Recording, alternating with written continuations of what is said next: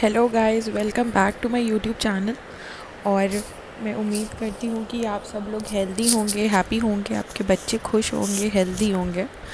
तो मेरा आज का टॉपिक ये है कि क्या आपके बच्चे बेड पे अभी भी सूसू करते हैं और उनको कैसे ट्रेन करा जाए सूसू और पॉटी के लिए कि वो बेड पे सूसू ना करें। तो गाइज़ पहली बात तो मैं ये बताना चाहूँगी कि बच्चा जो है कम से कम आप उसको सवा दो साल तक नहीं ट्रेन कर सकते हैं बेड पे सूसू ना करने के लिए। वो करेगा ही करेगा। जब तक वो ये नहीं समझ जाता कि आप क्या बोल रहे हैं। मतलब छोटे बच्चों को पहले ट्रेन ये समझना ज़रूरी है कि पेरेंट्स बोल क्या रहे हैं, उनसे क्या कहना चाहते हैं। तब तक बहुत मुश्किल है उनको ट्रेन करना। हाँ कुछ बच्चे जो है, आप स्टार्टिंग से ही जब वो बाय बर्थ मतलब जब वो पैदा हुए, तब उनको आप लटका करके, पलंग से दोनों पैर पकड़ करके ऐसे करके आप उन्हें आदत डालिए तो वो करने लगेंगे। पर वो बहुत ही मुश्किल होता है मोस्ट ऑफ़ द मदर्स के लिए क्योंकि वो ऑलरेडी इतना परेशान होती हैं बच्चे की परवरिश को लेकर के और चीज़ों को लेकर के कि ऐसा कर पाना उनको याद नहीं रहता है। और क्योंकि और ये टाइम टेकिंग भी है, बच्चा एक बार में ससुवाने जैसे कहते हैं उसको ससुवाना भी कहते हैं बहुत लोग देसी भाषा में। ज़रूरी नहीं है कि वो करने पे बच्चा एक बार में करने ही लगे तो तीन, चार, पाँच, हो सकता है दस बारह, पंद्रह, बीस बार में बच्चा करने लगेगा। तो वो मदर्स जनरली आजकल की जनरेशन की अवॉइड ही करती हैं। दादी नानी का काम ये थोड़ा ज़्यादा होता है। तो अब आपका बच्चा दो ढाई साल का हो गया है, आपको मन है कि आपका बच्चा बेड पे सुसु ना करे तो आपको क्या करना चाहिए? तो इसके लिए बहुत सिंपल सी चीज़ मैं आपको बता रही हूँ, वो जब भी बेड पे सूसू करे, आप उसको थोड़ा सा ऐसे कड़ी आवाज़ में डांटिए कि तुमने बेड पे सूसू करी।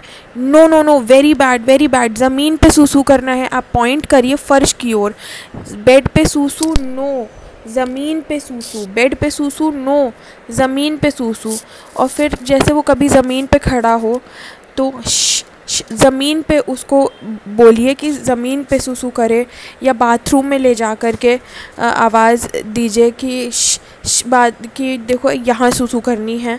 ऐसे यहाँ पे पॉइंट आउट करके उसके पर्सनल ऑर्गन की तरफ़ आप बोल सकते हैं कि यहाँ सुसु यहाँ सुसु तो क्योंकि छोटा बच्चा दो ढाई साल का, भले ही बोल ना पाए बहुत अच्छे से, क्योंकि गर्ल्स तो बोलने लग जाती हैं बॉयज़ यूजुअली थोड़ा टाइम लेते हैं ज़्यादा बोलने के लिए तो वो हिंदी समझने लग जाते हैं मतलब जो भी नेटिव लैंग्वेज हो आपके घर की बंगाली इंग्लिश हिंदी वॉट तो वो समझने लग जाते हैं तो फिर वो रिस्पॉन्स करने लगेंगे।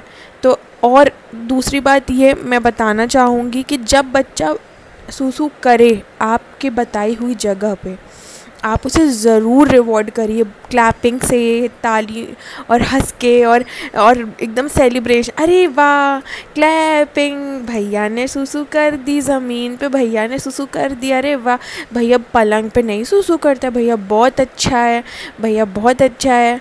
ऐसे करके आप उसे हर बार जब ऐसे वो देखेगा ना कि मैं जब ज़मीन पे सुसु करता हूँ या बाथरूम में जाके सुसु करता हूँ या पॉटी करता हूँ तो फिर सब लोग मुझे अप्रिशिएट करते हैं रिवॉर्ड करते हैं। बहुत कैजुअली कोई रिएक्ट नहीं करता तो फिर आप तो फिर बच्चा हर बार ही जा कर के उसी लोकेशन पे ही सुसु या पॉटी करेगा, जहाँ पे आपने बताया है। अब आप सोचिए कि एक जानवर को भी अगर आप ट्रेन करेंगे तो जानवर तक करने लग जाता है वहीं बताई हुई जगह पे सुसु पॉटी। फिर ये तो इंसान का बच्चा है तो ये तो समझ ही जाएगा ना। तो थोड़ा सा आपको बस पेशेंस रखना पड़ेगा, दो चार बार दो बहुत जल्दी आई है नहीं कि मेरा बच्चा एकदम डेढ़ साल में दो साल में करने लगे। हाँ घर में जो बड़े बुज़ुर्ग होते हैं वो पीछे पड़े रहते हैं कि हाँ थोड़ा तुमने सिखाया नहीं ये नहीं करा वो नहीं करा कोई बात नहीं। उन लोग की आदत होती है थोड़ा पेशेंस रखिए बोलने दीजिए उनको। आ, उनकी एज निकल गई है और अब वो क्या ही करें यही सब थोड़ा सा ये सब पॉइंट आउट करेंगे ही और थोड़ा सा आदत को इग्नोर करना ही बेहतर है, घर में शांति और सुख बनाए रखने के लिए। मेरे घर में भी ऐसे ही होता है, मैं भी इग्नोर करती हूँ और बस ढाई साल में, सवा दो साल में, लगभग मतलब मैंने दो साल का था मेरा बच्चा, तभी मैंने स्टार्ट किया और वो सीख गया। दो तीन दिन, चार दिन में ही फिर वो पलंग से उतर के ज़मीन में करने लगा। दो तीन बार तो उसने नहीं ओबे करा, पर फिर जब हम लोग ने थोड़ा डांटा, मेरे और मेरे हस्बैंड ने, क्यों करा क्यों करा क्यों करा? यहाँ पे करते हो तुम, गंदे बच्चे हो तुम, यहाँ नहीं करते हो, जहाँ बताया है, यहाँ नहीं करते हो, यहाँ करा करो। बेड से उतार करके उसको ज़मीन में करा तो फिर अब हमको नहीं ज़रूरत पड़ती। इनफैक्ट डे टाइम डाइपर्स की भी अब हमको ज़रूरत नहीं पड़ती है, क्योंकि वो जब सुसु आती है तो वो बता देता है। हाँ पर ट्रैवलिंग में we still need diapers because उसको नहीं पता कि ट्रैवलिंग में सडनली गोद से उतर के जाना है तो बच्चा, बच्चे की निकल जाती है तो फिर ऐसे में आप भी डाइपर्स कैरी करिए, क्योंकि बच्चा है तो छोटा ही ना अभी। तो बस आज के वीडियो में इतना ही, और अगर आपकी और कोई प्रॉब्लम हो तो आप मुझे ज़रूर बताइएगा, मैं उस पर भी वीडियो बनाऊँगी। थैंक यू और बस हेल्दी रहिए, खुश रहिए।